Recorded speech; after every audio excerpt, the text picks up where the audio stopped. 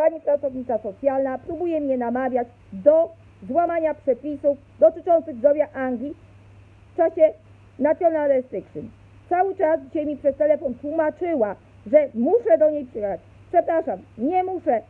Postanowienia Gobentu dotyczące osób ekstremal vulnerable mówią o tym, że osoby z ekstremal vulnerable jako advice od Gobentu Wydziału Socjalnego z góry i Wydziału także Zdrowia mówią o tym, że osoby z ekstremal vulnerable mają unikać niepotrzebnych spotkań, a także spotkania, które mogą się odbyć przez telefon, przez telefon mają być w ten sposób robione. Ja się dostosowałam do advice pana Mata Hopkinsa, szefa po prostu governmentu, także do advice'u szefostwa i zarządzeń NHS-u, także Wydziału Socjalnego, do tego, co mi poradzili jako osoby, które są osobami, które pracują w governmencie, to kto ma rację? Pracownik socjalny, który dopiero się zatrudnił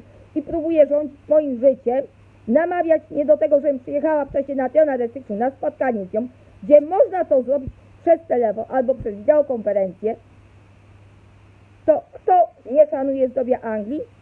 Przepraszam, przepisy są jakie są, ja nic nie poradzę i pani nowa socjalna musi zrozumieć, a nie próbować dyrygować moim życiem i namawiać mnie do naruszenia przepisów dotyczących COVID-19 w trakcie narodowej pandemii.